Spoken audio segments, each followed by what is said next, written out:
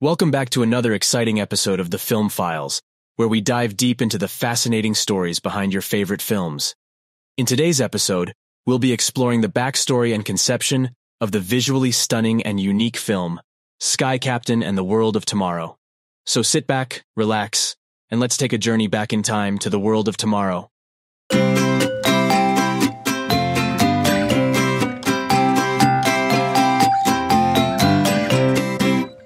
For those unfamiliar with the film, Sky Captain and the World of Tomorrow is a 2004 science fiction adventure film directed by Kerry Conran. But what makes this movie truly stand out is its unique visual style, which combines live-action footage with digitally created backgrounds and effects.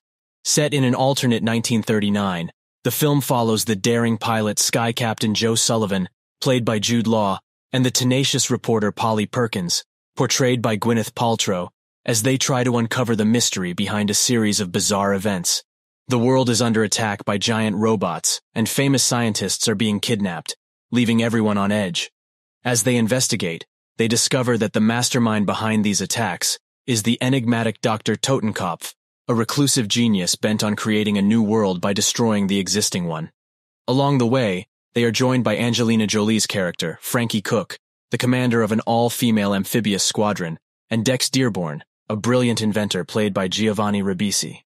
Together, this unlikely team must navigate a series of thrilling adventures, from dogfights in the sky to battles with colossal machines, as they race against time to stop Dr. Totenkopf's nefarious plan and save the world from destruction. Now let's dive into the film's conception. Kerry Conran, the director, had a passion for classic science fiction and adventure stories from the 1930s and 40s. He was particularly influenced by the works of comic book artist Alex Raymond, who created the legendary character Flash Gordon. Conran wanted to create a film that paid homage to these classic stories, but with a modern twist. The idea for Sky Captain and the World of Tomorrow began to take shape in the early 1990s, when Conran was working as a freelance graphic artist. Using his self-taught skills in computer graphics, he created a short teaser for the film on his home computer, which took him four years to complete. This teaser caught the eye of producer Jon Avnet, who was impressed by Conran's unique vision and decided to help him bring it to the big screen. Avnet recognized that Conran's blend of live action and digital effects was groundbreaking, and he believed it could change the way films were made. Fun fact, Sky Captain and the World of Tomorrow was one of the first major films to be shot entirely against a green screen, with the actors performing in front of a blank canvas. The elaborate sets, props, and even some characters were all digitally created in post-production, allowing Conran to fully realize his imaginative world without the constraints of a traditional film set. This innovative approach to filmmaking garnered a lot of attention in Hollywood, and the film's unique aesthetic helped it stand out from other sci-fi films of the era. Although the film didn't perform as well as hoped at the box office, it has since gained a cult following and is considered a pioneering work in the realm of digital filmmaking. So let's talk a little about the cast. First up, let's talk about Jude Law, who played the dashing and heroic Sky Captain Joe Sullivan. Did you know that Jude Law was actually a co-producer on the film? Law was so passionate about the project that he not only starred in it, but also helped bring it to life behind the scenes. Now let's move on to Gwyneth Paltrow, who portrayed the intrepid reporter Polly Perkins. Paltrow found the experience of acting in front of a green screen to be a unique challenge. In an interview, she mentioned that it required a great deal of imagination, as there were no physical sets or props to interact with. She even compared it to being a kid again and playing make-believe in her backyard. Speaking of Paltrow, there's an interesting story about her first day on set. Due to a scheduling conflict, she had to film her first scene with Jude Law before they had even met in person.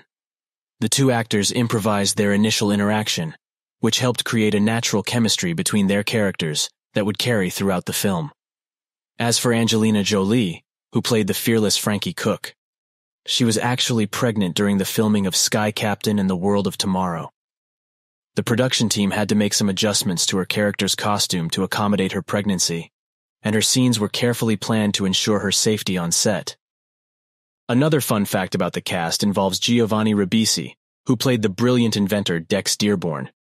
Ribisi has mentioned in interviews that his character was inspired by real-life inventors like Nikola Tesla and Thomas Edison. He even studied their mannerisms and speaking patterns to better portray Dex's eccentric genius.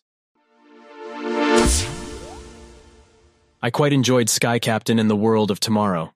For sure, the digital technology is a bit dated by the standards of today. I am no big fan of the early HD cinema look, but I still feel it is a visually amazing movie, and the digital effects are used to create a fascinating world. Sky Captain and the World of Tomorrow has a lot more soul than many of the CGI-filled blockbusters produced today, although it is by no means a perfect movie.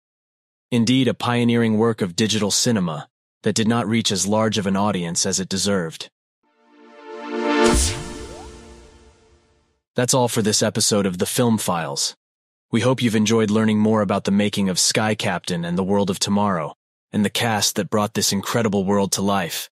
Don't forget to tune in next time as we continue to explore the stories behind your favorite films and films you never heard of. Until then, happy movie watching.